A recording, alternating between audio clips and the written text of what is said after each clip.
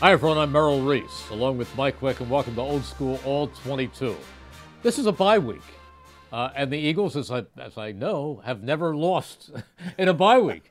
However, there are a lot of memories that uh, occurred over the years, and one was an interception in Dallas and a beating that the Eagles really gave the Cowboys. We talk about lots of interceptions, Merrill, but this is one that it's almost unforgettable for me because it's Jeremiah Trotter. And you see a big 260 pound linebacker intercepting the ball and just lugging down the sideline. I think it's a thing of beauty. Check this out. With just 13 seconds left in the first half, the Eagles defense lined up on second and 10 looking to protect a 13 0 lead.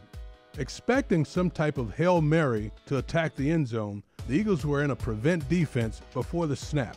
But quarterback Ryan Leaf had other ideas.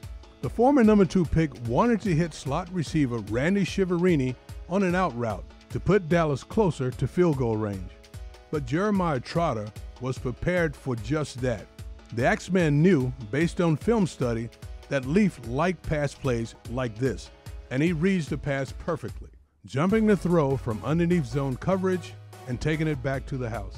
The Eagles took a 20 0 lead at halftime, finishing with a 36 3 victory on the road and their fourth straight win over the Cowboys.